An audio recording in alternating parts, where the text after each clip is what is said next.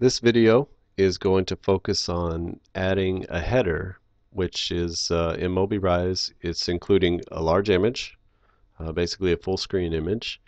And uh, you also have the option of putting in text or some buttons either one or two or more buttons in on top of the header. So this is a very modern style. You've seen it before in many uh, websites. And let's jump in so we're going to add a block to the page. Previously we added the menu. You can see that we've already added that there. And then we come to the headers and we have one, two, three different styles of header. Uh, you can see they're all full width large headers. This one is a block of color. Uh, this one is a full screen image. This is a full screen image with centered uh, buttons and text. This has the buttons and text to the right and this is a block of color with the buttons and text off to the right. So let's jump in and like I said it's the same with the menu. Whichever one you choose you're going to wind up with the same parameters, the same uh, options, block parameters to be able to make changes. All they're doing here is they are styling these for you and giving you some preset block parameters. So if this is the look you're going for, all you have to do is add this in and it'll be ready for you to uh, make the edits to it. If this is what you're going for with the centered, then all you have to do is add that in. And then if this is what you're going for with the block of color, uh, and then this off to the right, then all you have to do is add that in as well. Um, you can, when you're choosing these, you can click to add it, or you can grab it and drag it into the places that you want it to go. So you can put it on the page uh, at whatever spot you want. If you click it, it'll just go down to the next available spot underneath the last element. So let's click and drag that in there. So here we are. On our uh, the last video, you saw when we added the header that you can make the header uh, transparent. So if we make the header transparent like this, then you can see that you get a nice full bleed all the way to the edge on the image. Uh, if you want to add the color back, then you take off the transparent and then it gives you a nice clean and crisp uh, look to the top. This is a full screen image, so you're going to need a large image for this. Uh, if you have an image that is too small, something like 640 by 400 or 480, then that image is probably not going to look very good on here. Uh, I tend to resize my images to 2500 pixels um, only because that's going to stretch out to some of your largest monitors. So a normal size is going to be about 1280 by 900 or 1280 by 768. That's going to be your your baseline typical monitor uh, resolution. And so that's a good one to do. If you do 1500 pixels wide, you're going to cover most of the gamut of monitors, anyone who's going to be uh, looking at your website.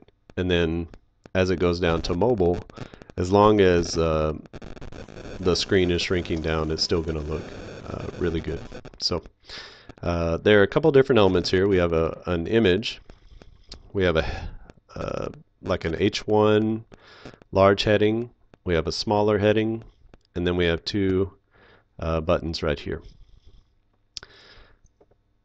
This is a new, uh, by the way, this is a new uh, feature. So once you begin to add multiple blocks in here, you can actually drag. If you click and hold this, you can actually drag the block wherever you want it to go. So as we begin to build elements down the page, we'll be able to actually reorder those elements, set everything here, and we don't have to reset it. You can just take all the changes that you made and just drag it up and down the page and set it wherever you want it to go. Uh, we have again our block parameters here. So several different things that were not in the one before. And then obviously you can move remove the block. So let's start here Mobirise is uh, fully a fully functional front end editor. And what that means is basically like you can edit a Microsoft Word document if you double click. Then you can begin typing. It's that easy. You can do, I'm just doing Control Z and going back. So you can do that. Um, when you click on it, you get similar options as we did with the header.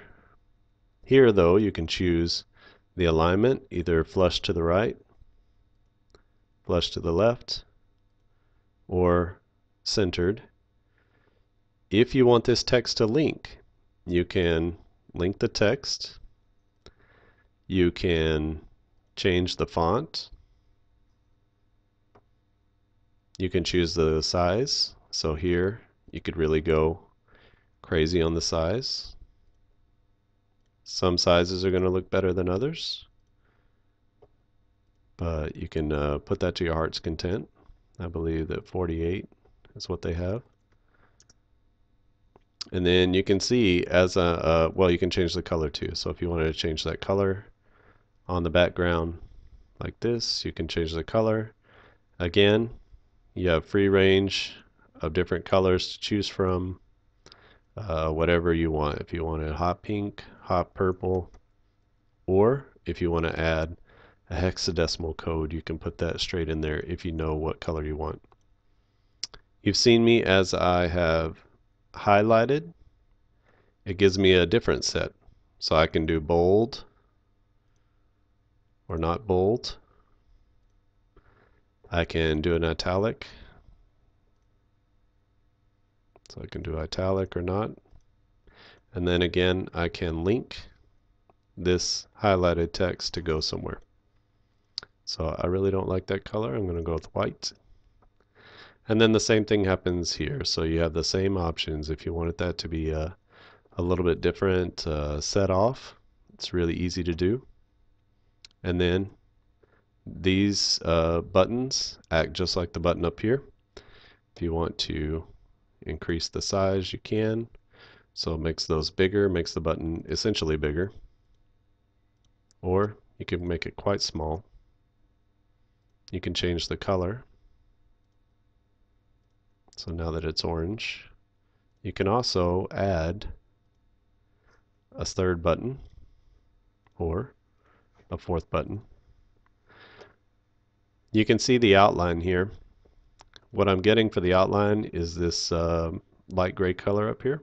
So you can do black, and that will actually give you a really uh, dark, almost nothing here. You can do a color, which will give you the color. Or if you choose this one right here, then it will actually give you this outline look, uh, which is really nice. It's called a ghost button, and it's a pretty popular style. If you have too many buttons, you want to get rid of them, all you have to do is click on it and remove it. Stylistically, one of the things this does to add a ghost button is to diminish the look. So this is this will probably be the first thing that a, a user sees when their eye comes to the page.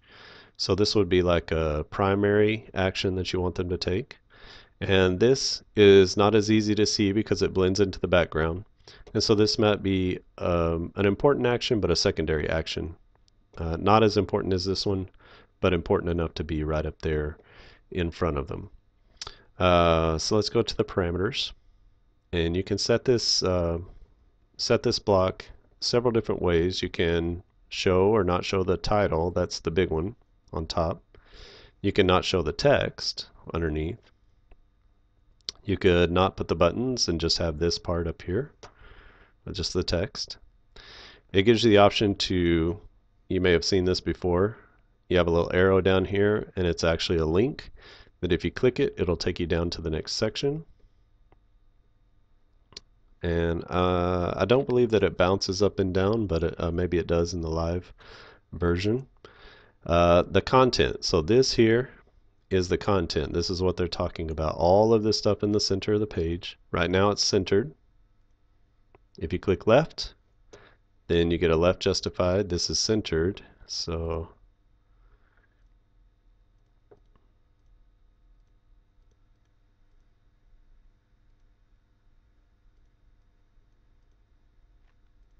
Well, it's not playing nicely right now, but you should be able to left justify that. And then you could also right justify it. Still not working. Uh, you have the option of either in the background you can do a background image, you can do a background color, or you can actually put a video into the header. And then the last one here is an overlay, and I'll show you how that works. So right now we have a background image. Uh, this is not an image that I put in there. This comes with Mobirise. Um, if you want to, to change the image, all you have to do, you can click on the image, and it'll bring this up. And then all you have to do is click on this image here. So anytime you see this in the block parameters, all you have to just click it, and it'll bring up again your uh, your finder for your operating system. And I will go through and let me see if I can just grab a nice image here. This one is okay. Alright, so we have our image. We've changed it. Looks good. And this is called parallax. So you can leave that on or off. And what parallax does is when you begin to scroll down the page, the image stays in place, but all of the text and the page underneath it begins to scroll up. You've seen this. It's like the background never moves, but everything else moves up over the top of it and kind of covers it up. So that's called a parallax effect. You can take that off and then it'll be just like one big static image that moves with the text like all this is together. Uh, I think I'll keep that on for now. It'll change the way that it's set into the uh, into the section. You can also, if you'd rather just have a color, you can choose background color and then again choose whichever color you'd like to add, uh, which can be a nice change of pace. Or you can actually include a background video. This is a video that you can't see, but whenever you preview it in the browser, It'll kick in in just a minute. It takes a second for it to go, but you can see once it makes that little shift, then the video will actually kick in and begin to uh, begin to start moving. And depending on your connection, depending on your host, um, will depend on how quickly that gets moving. So you have a nice little uh, background video. Now in Mobirise, the background video accepts YouTube only. So you're going to have to upload this to YouTube and then do the sharing feature uh, in YouTube and share the video and then take that link that it gives you for sharing and then you insert that link here. Uh, and then the last parameter here, let's go back to the background image.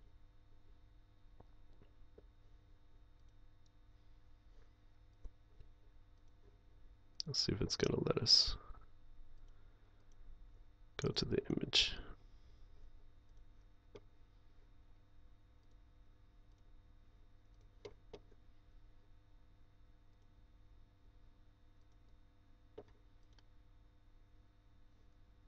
Well, maybe it won't let me go back to it. Let's see, let's try again. So we'll change the background image to match what we want. And then we have this option here for an overlay. Now an overlay is going to go over the background but under the text. So what we do is we click that on and you can see that this has gotten a lot darker and it actually makes this text stand out so that you can actually see it. So before, without the overlay, looks like this. White text is very difficult to see and then we put the overlay there and it actually makes it uh, significantly easier uh, to be able to read it. We're going to take this arrow off and then we get a couple of parameters here for the overlay. One is the color. So if you've ever seen a colored overlay, you can actually have some different colors back here. Again, you can use the color picker to choose a color that you want. Uh, I'm just going to go with the regular black. Black is going to make it um, just darken everything up without washing out the color. White is going to give it a very high key kind of look. And then gray just kind of muddles it up at different levels. So I'll use black because then I can control the opacity here of that overlay. So if I make this go up, one is a complete, it's completely opaque. And then as you move from one down to zero, it becomes more and more transparent as you go along. So obviously, if you don't mind the picture being a little bit more difficult to see, every time that you make it darker, it's going to make this show up and pop right out of the page. So it's a very, very nice little uh, feature to be able to overlay um, both a background video, so you can do the same thing with the video, you can see, or with the background image. Uh, so that's a nice little feature. Again, all you have to do is come through, change these, and then change these. You can change where these um, where these buttons link to, whether they go off into a new window, which page they go to, and then also what text they are to display. So that is uh, that is the header.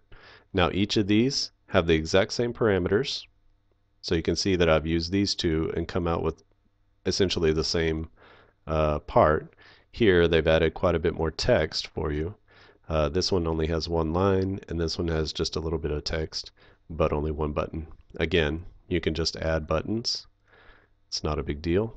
You can add several, as many as you like.